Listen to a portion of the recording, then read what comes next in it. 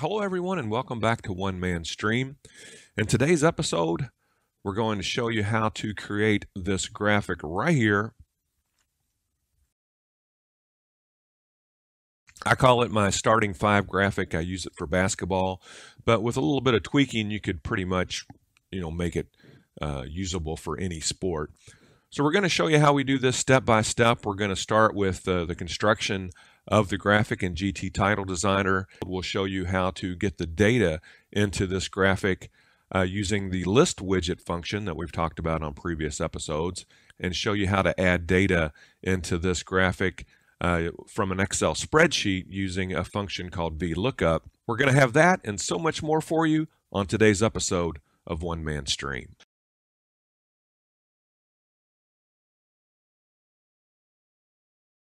So to get started, we're going to go to uh, GT Title Designer, and uh, this is our palette. We're going to start off with a fresh palette, and uh, what we're going to do is we're going to create this in three layers. Uh, the first layer is going to be the player image, the team logo, and our main rectangle is going to be uh, made uh, with a gradient. And then layer two is going to be the team name, which is going to be on the left-hand side. And then our third rectangle is going to be the player bio rectangle. And uh, that is going to be at the bottom, and that'll have the player's name and the player's number. So let's go ahead and get started. So I'm going to make the first layer visible, and you can see we have three elements here. Uh, the first element is the main rectangle. And as I said, that is a gradient. So in order to do this, you would go up to gradient and click on, uh, slide down here to where it says gradient and then click on that. When you open it up, you only have two stops here. So what I had to do is I had to add four stops. So I just clicked add stop four times and it brought these guys in. And then what I did is I set the two on the ends a darker color. I'm using three shades of gray on this gradient. And the two endpoints are the darker ones. So uh, that's this shade right here. And then I go to the one on the far right click on the color button again, you can see that the darker shade is highlighted. And then I go on the two uh, next to the ones we just created. And you can see it's the next shade of gray. And it's that way on both of them. And then you can see the two in the middle are the lightest shade of gray on my color palette.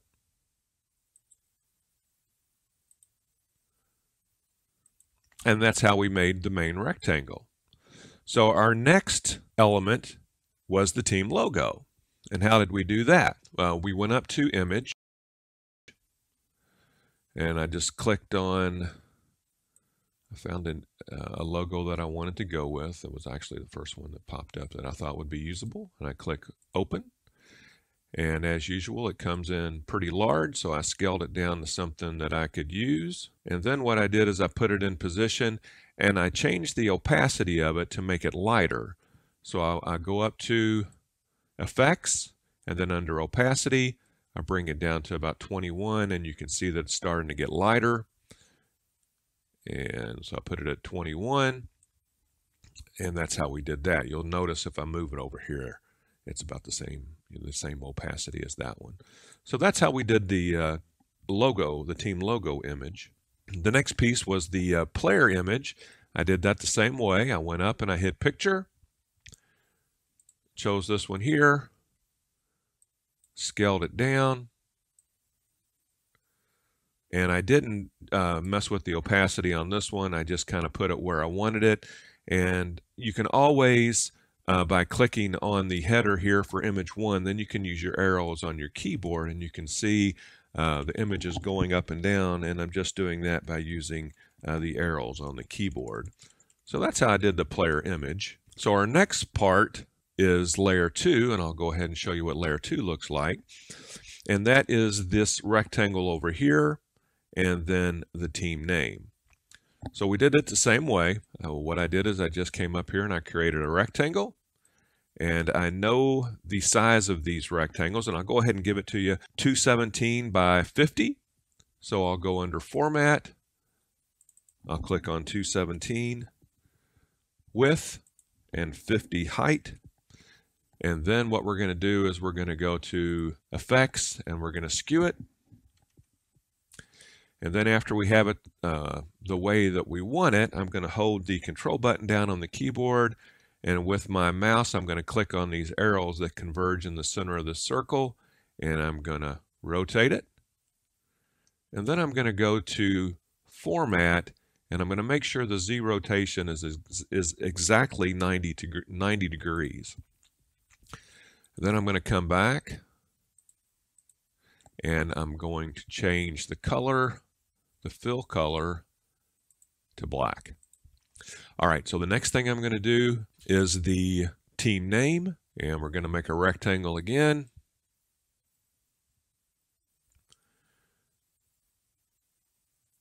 and we're going to center the uh, text. Well, first we're going to make it impact, and we're going to make it extra bold. And then we're going to center it right and left, up and down. And then we're going to go over here and click this button, and we're going to click shrink. And that way, if we have a very long team name, we'll still be able to confine it uh, inside of this text box here. And we're going to change the fill color to white. And I'm going to do the same thing that I did last time. I'm going to hold down the control key. I'm going to come to where these arrows converge and I'm going to rotate it. And then I'm going to go check the format and make sure the Z rotation is exactly 90. And then I'm going to bring this over and put it right here. So then what I would do is I would make sure that I make these guys a layer because we want to do this in three layers. So what I would do is I would highlight uh, rectangle one and then I would highlight text box one and the names that I gave those were team name. You can see that right here and team name rectangle. I have them highlighted and then I go click on the home button and create a group layer. And that puts everything in one layer and it's going to allow me to move it over here into position and then you can use the fine arrows once again to get it exactly where you want it. So that's how we did the second group of elements. Third group of elements is layer 3 and these guys are entitled player bio rectangle which is this main black rectangle here player number which is the number right here and player name which is right here and I'm not going to go through all the steps. I'm, I do not want to beat you guys over the head with this. But for the number 10, I had to go up and use this to create a text block. And then I used the impact font. I centered it in the middle, left and uh, in the middle, up and down, and left and right. And then that's how we did this. And on the player name, I did the same thing. I went up and created a text box again using the same font impact. I notched the size down just a little bit. On the number, I used 36, but on the name, I used 28. And then make sure you use the shrink function here so that longer names are going to fit within that text box. After I did that, I went and highlighted the names again for those three elements. And I went back to home. Oops. I went back to home and I created a group layer.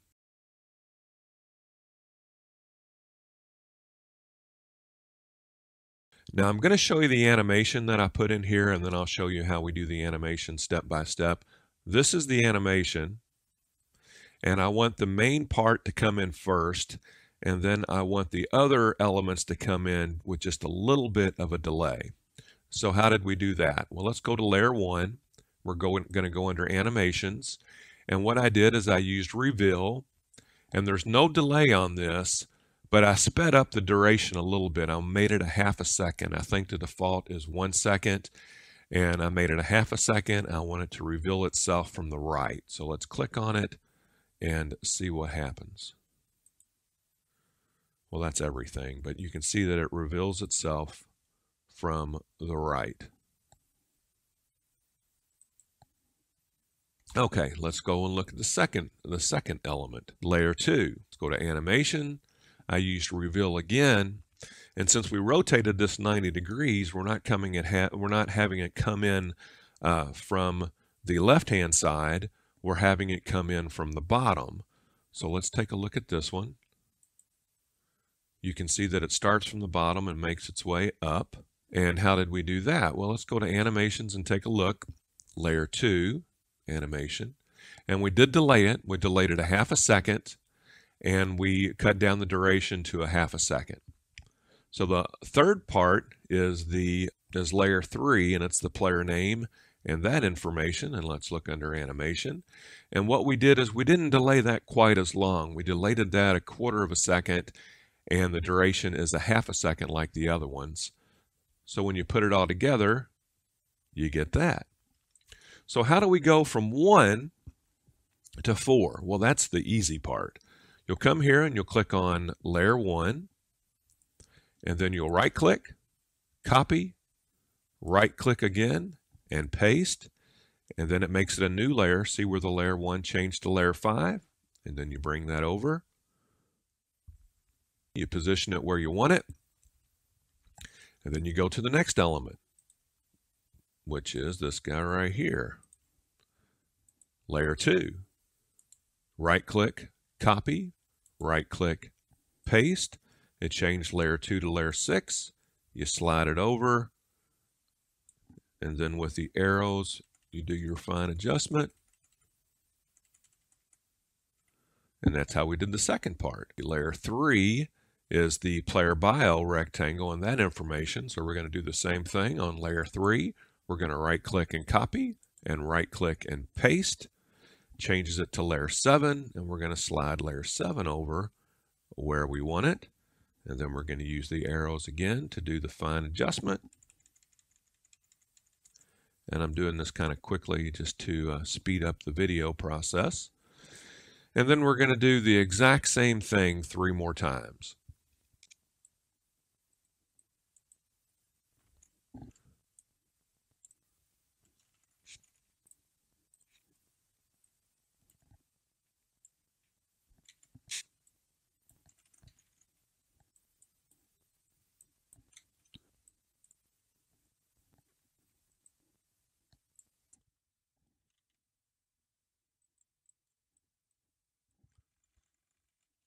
And you saw how quick and easy that was. And don't be concerned that uh, this last rectangle is falling out of the, uh, um, the area that you want to keep everything confined within so that it's visible on your screen because you'll be able to deal with that after you bring it into your vMix production. You'll be able to uh, mess with the positioning and the scaling and you'll be able to put it exactly where you want it. So that's how we did that. So sometimes after you do all this copy and pasting, the um, animations are a little bit off. So let's take a look at the animations to see what that looks like now. And that looks pretty good.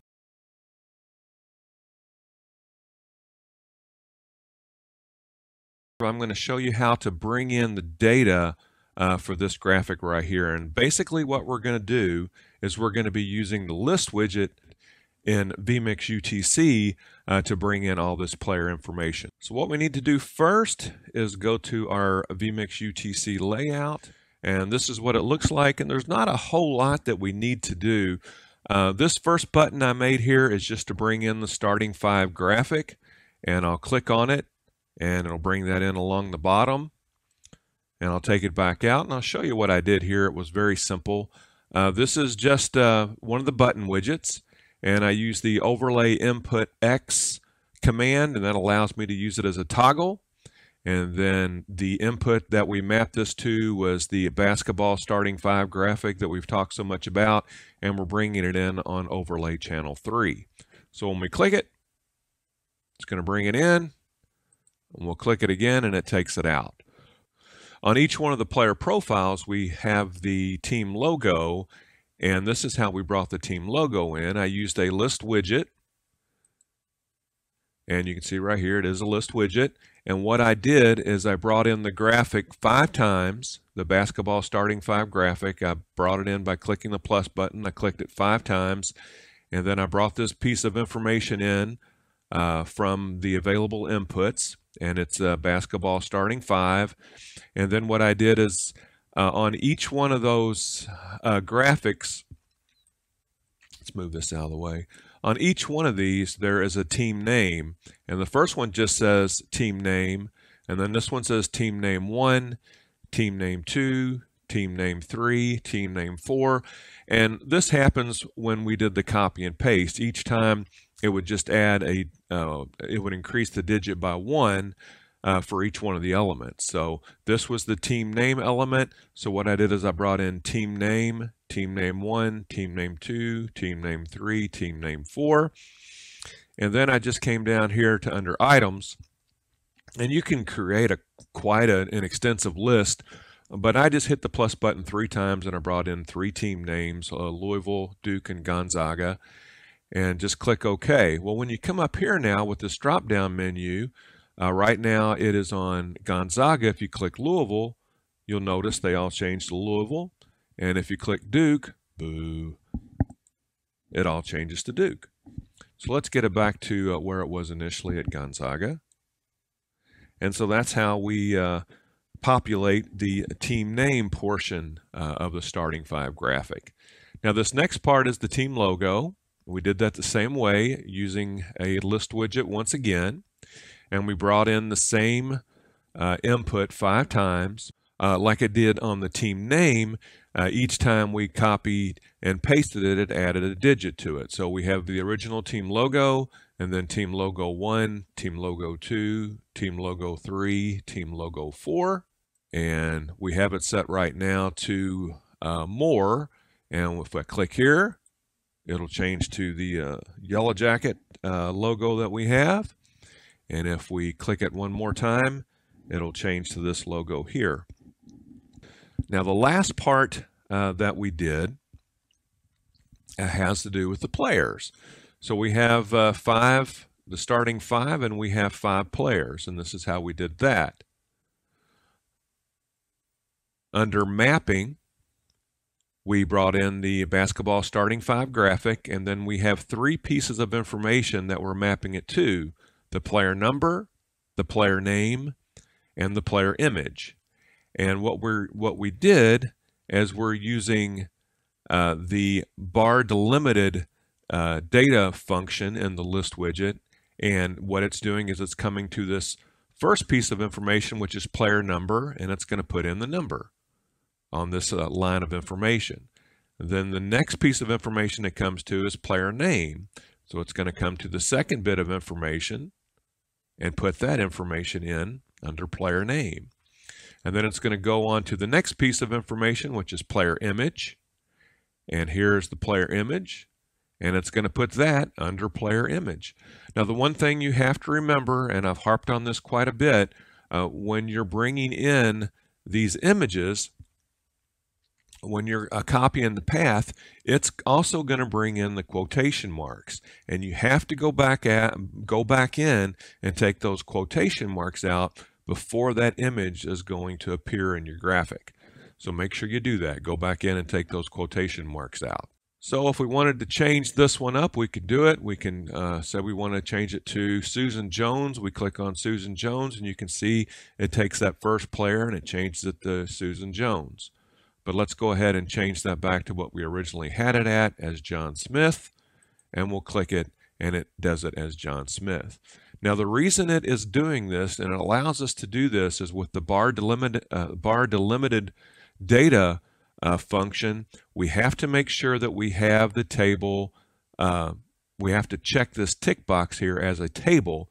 If not, what it'll do is it'll come to this first piece of information and it's going to put that in under number, it's going to put it in under name, and it's going to put it in under image. And that is certainly not what we want. Uh, we have to do it as table, uh, so it'll go to the next piece of data in the table to put it into the next available area. And once again, the three areas were player number, player name, and player image. So let's go ahead and bring the graphic out, and we'll bring the graphic back in one more time. Uh, you can see the animation, and you can see how that information comes in.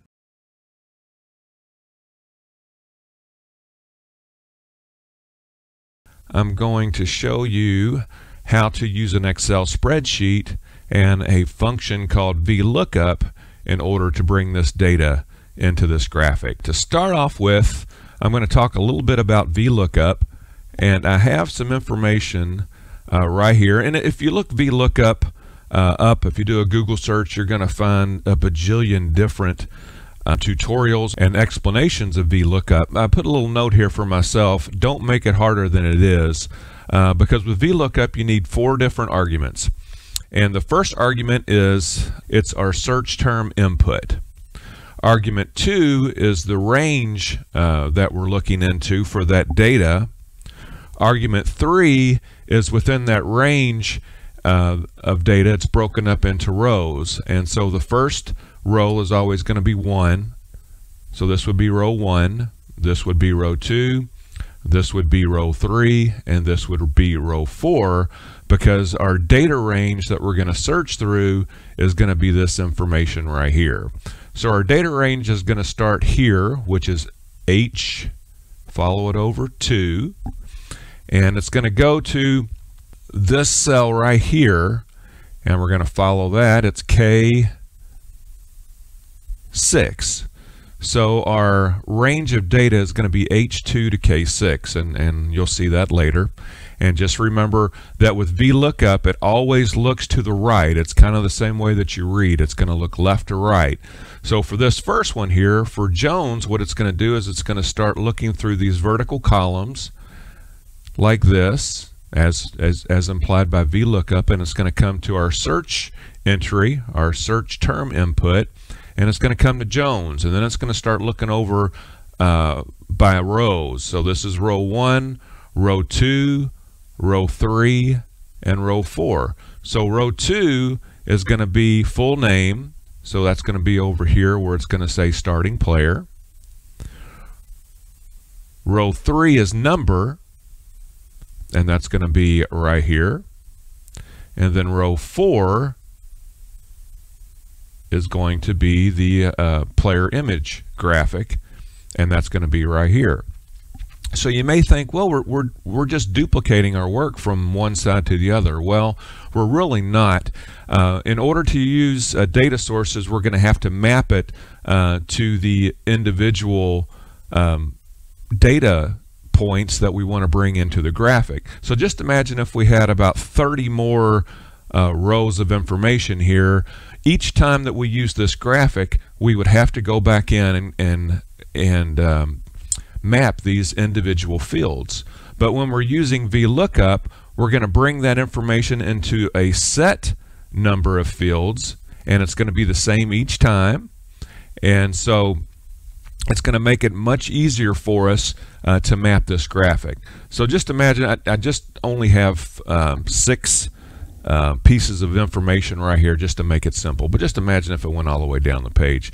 Um, we're, we're going to be able to sort through that, bring out the five players that we want along with their accompanying information, and we're going to be able to use that in our graphic. So we're going to show you how to do that. We're going to do our first search here, and I'm going to just give you an example of how we did that, and then I'm going to show you the rest of, of the spreadsheet. Um, so we're going to start right here, and we're going to put an equal sign in. And then you also see up here in the function bar, it shows an equal sign. And then we're going to start typing the function that we're going to use, VLOOKUP. And you can see it comes in. Says VLOOKUP. And we're going to push, uh, and we're going to put a parentheses in here. Okay, so let's go to our first argument. This is the data that we're looking for, our search term input.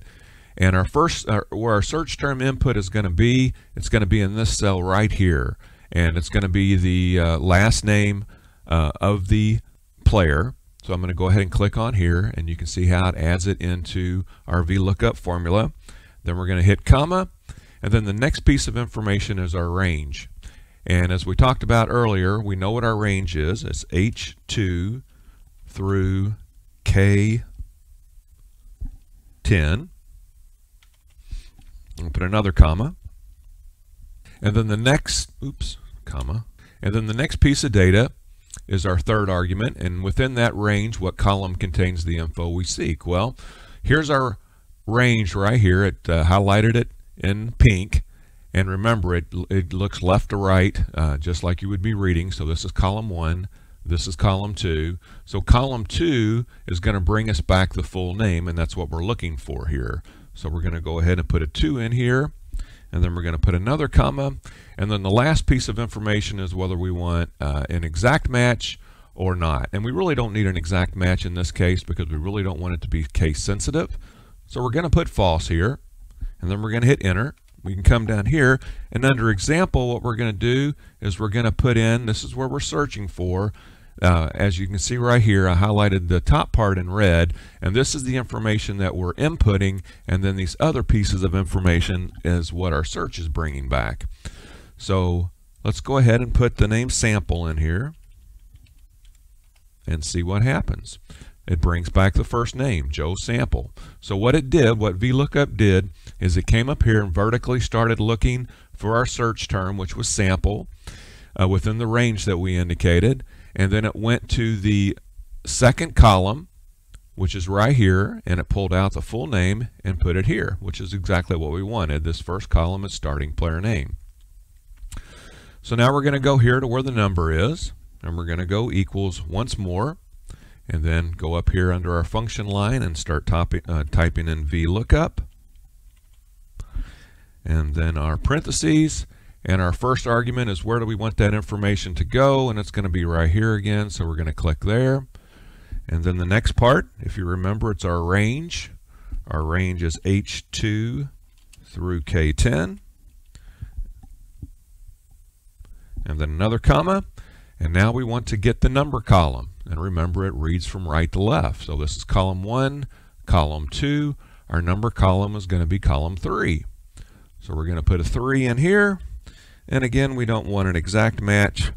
So we're going to put false and close our parentheses and click enter. And again, it goes, it searches through, it finds sample, and then it goes to the third column, and it brings up 99, which is the number that we have for our player Joe sample. So the last piece of information is the player image. So we're going to start off the same way. We're going to hit equal and then go up here under our function bar and type in VLOOKUP again. Parentheses. Where's that information?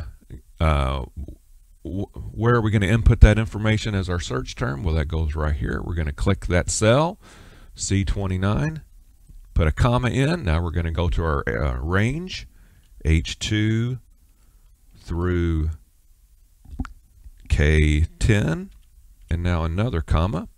And then we're going to go to our column to find that bit of information. Well, now we're looking for the image. So this is column 1, column 2, column 3. Our image is in column 4. So let's go ahead and put a 4 there. And again, we just you're going to get an approximate match, not an exact match. So we're going to put false, close our parentheses, and hit equal. And it does bring in that bit of information right there. So once again, with VLOOKUP, it's going to go to uh, go through vertically, looking for the data we told it to, to search for. In this case, it's sample. And then it's going to go with uh, look through the range that we gave it, which is this whole bit of information right here. And then it's going to search for the column where we want that specific bit of information, column 1, column 2, column 3, column 4. And uh, the last piece of information is whether you want it to be an exact or a close match.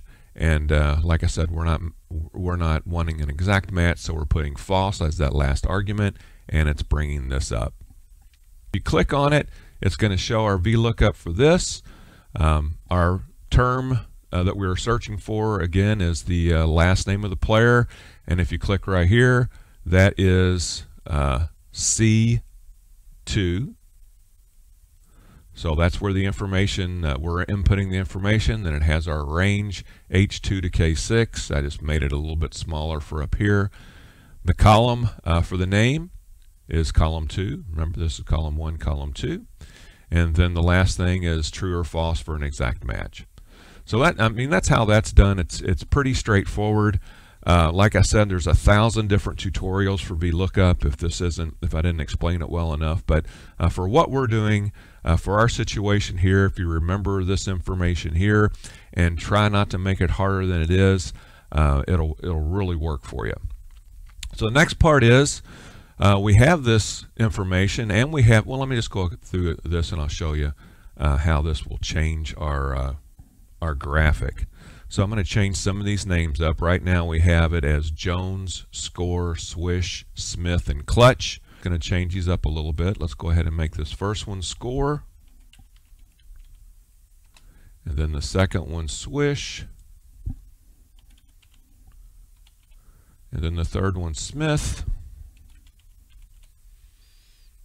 And then this one clutch. And then the last one Jones. And this is actually uh, from my OneDrive in the cloud, so it's going to take it a minute before all these are going to change. So right I'll just hold here with you until those changes take place. And there you go.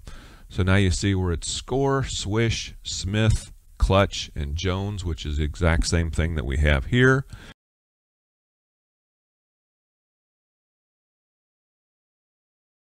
First off, I'm going to have to show you how to bring in the spreadsheet. So I, hit the hamburger menu here and I went under data sources and then I added it. So what I did is I clicked right here, Excel, comma separated value, and then I went and I searched for my spreadsheet. So I hit browse.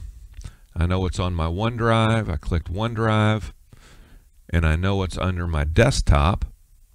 So I'm going to scroll down and it's one man stream episode 13 of Excel sheet. So I'm going to click on that and click open. Click OK. And you can see it brought in that information from the spreadsheet. I did uh, tweak a couple of the settings. Well, let's do this. I'm going to use the first row. This is what it looks like when it first comes in. But what I'm going to do is I'm going to go back and I'm going to click this box here, use first row as column names, and then I'm also going to convert the rows to, co uh, to columns. So I'm going to click OK. And you can see now we're just going to have one long row, but what it does is it brings in starting player 1, player name 1, number 1, graphic 1. And it's going to break it up like that for each player. So then we're going to have starting player 2, and then player 2 name, number 2, graphic image player 2, and then the other information. And it does that for each individual player, and it makes it easier to find your information uh, when you're doing the mapping.